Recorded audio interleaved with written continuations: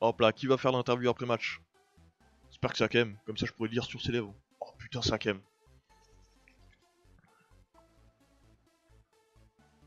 Ouh, regardez-le, il est beau. Regardez-le, on peut voir son front luisant là.